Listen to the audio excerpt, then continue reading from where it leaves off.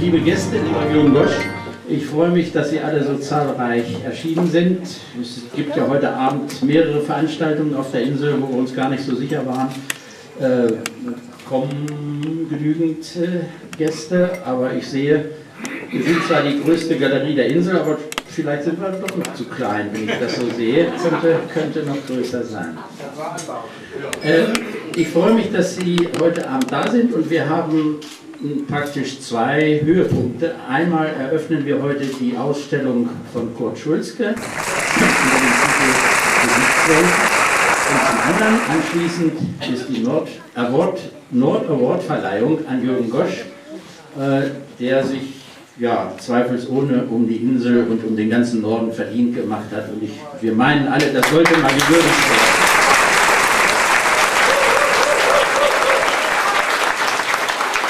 Ich übergebe das Mikrofon an Herrn Dr. Bernd Anders, der äh, Leiter oder Geschäftsführer der Deutschen Gesellschaft zur Rettung Schiffbrüchiger ist, die auch beim Nord Award eine Schirmherrschaftsfunktion ausüben. Und er wird äh, erstmal die Laudatio auf Kurt Schulz gehalten.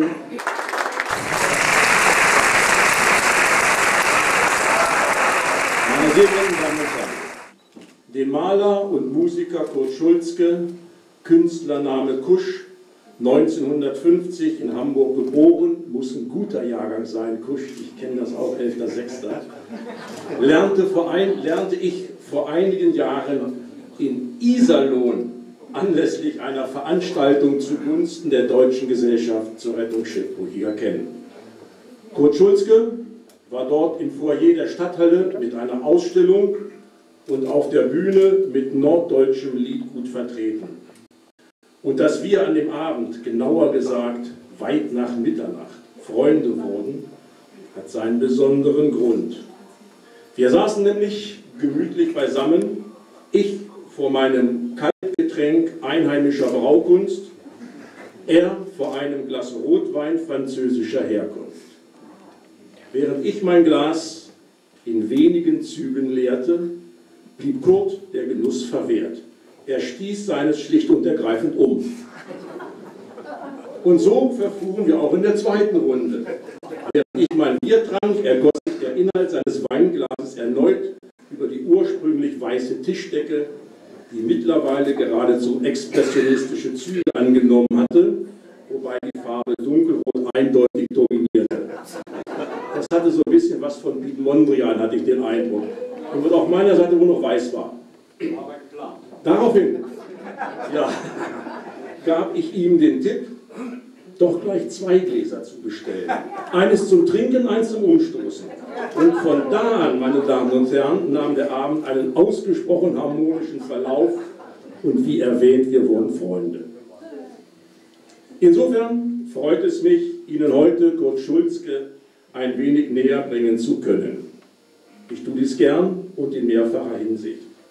Zum einen als Geschäftsführer der bereits genannten Deutschen Gesellschaft zur Rettung Schiffbrüchiger, zum anderen als großer Musikfreund und natürlich auch als Verehrer der Malkunst von Kurt Schulzke. Sprechen wir zunächst ein wenig über den Musiker. Kurt Schulzke war in den 70er Jahren des 20. Jahrhunderts, war es Kurt, ja?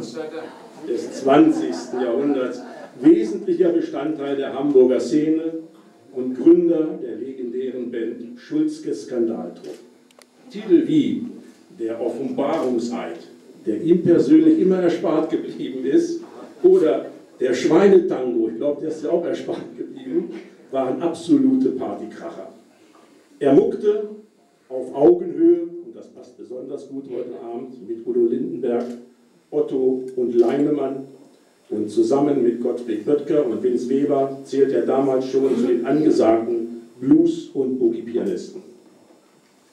In jener Zeit stand er beispielsweise mit Größen wie Champion Jack Dupree oder Alexis Corner, die Eltern unter uns werden sich erinnern, gemeinsam auf der Bühne und eine enge Freundschaft mit Uschi Nerke ergab sich nahezu von selbst. Ach was. Doch. Muss, die Freundschaft muss jetzt so stehen bleiben, ich ändere das nicht mehr.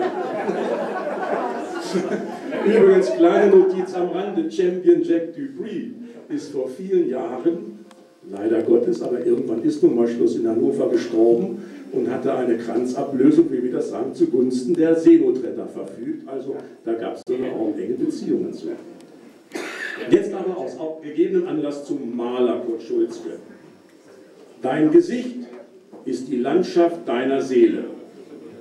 Nach diesem Leitmotiv legt er seine Porträts an. Dies ist ein gar treffliches Motiv, es sei denn, ein Schönheitschirurg hat sich als Landschaftsgärtner versucht.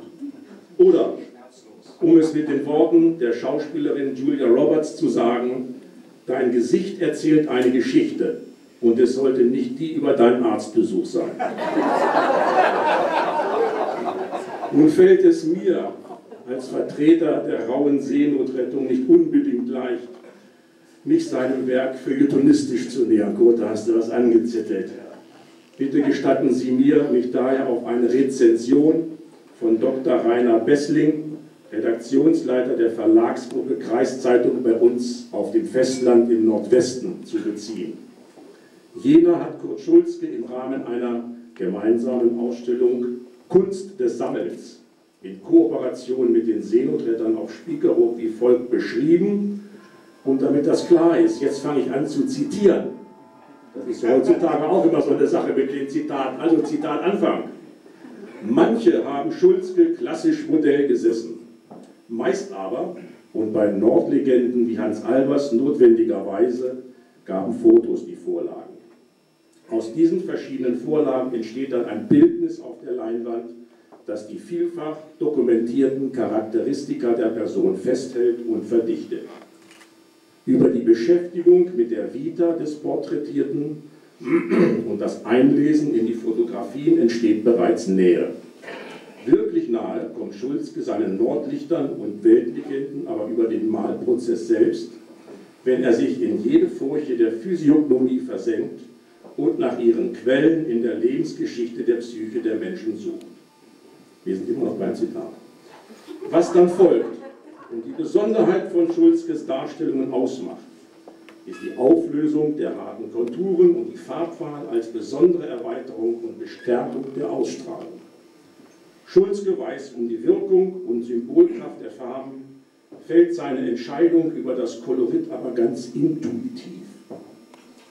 Es ist neben individuellen Attributen das Kultige, das Klima einer Szene, was die Bildsprache Schulzkes in der Anlehnung an Warhols Pop- und Prominenzästhetik kennzeichnet. Kurt Schulzke erhält viele Porträtaufträge. Dabei hat er die Interessen seiner Auftraggeber zu berücksichtigen. Diese Beschränkung muss nicht notwendigerweise einengen. Der Rahmen ist auch eine Herausforderung, innerhalb der Grenzen besondere Kreativität zu entfalten.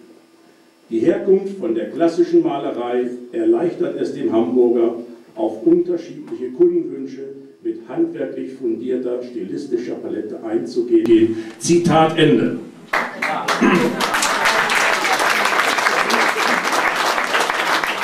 Jetzt kommt ein bisschen was Eigenes. Eine ganz andere Seite von Claude Schulz, da bin ich jetzt in meinem Metier, darf aus meiner Sicht auf gar keinen Fall fehlen. Als bekennender Norddeutscher, für den der Norden mitunter von der nordafrikanischen Küste betrachtet bereits in Spanien beginnt. Und als aktiver Wassersportler hat Kurt Schulzke auch ein ganz besonderes Faible für die Arbeit der Seenotretter, sozusagen für die stillen Helden oder wie unsere englische Kollegen so schön sagen, die Unsung Heroes. Ich freue mich, dass sein großes soziales Engagement hier auf Sylt seine Fortsetzung findet. Dafür danke ich ihm sehr herzlich. Und ich tue dies auch im Namen der heute Abend hier anwesenden Rettungskollegen von unseren Stationen Hörnum und List. Irgendwo im Internet las ich einmal. Die Ausstellungen und Vernissagen von Kurt Schulzke sind immer ein Fest der Sinne und echte Happenings. Mit Farbe für die Ohren und Musik für die Augen. Das entspricht ganz einem Ausspruch von Picasso, die Kunst spült den Staub des Alltags von der Seele. Dem ist nichts hinzuzufügen, höchstens Ihnen allen für Ihre Aufmerksamkeit sehr herzlich zu danken und dir, lieber Kurt, auch an dieser Stelle volle Kraft vorauszuwünschen. Und ich darf Sie nun bitten, Kurt Schulz mit einem donnernden Applaus hier zu begrüßen. Dankeschön.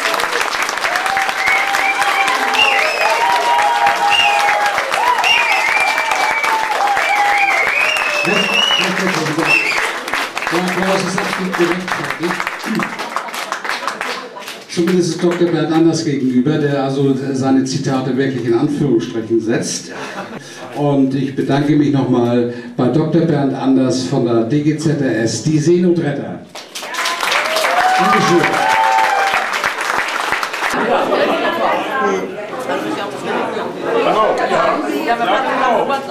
Ja.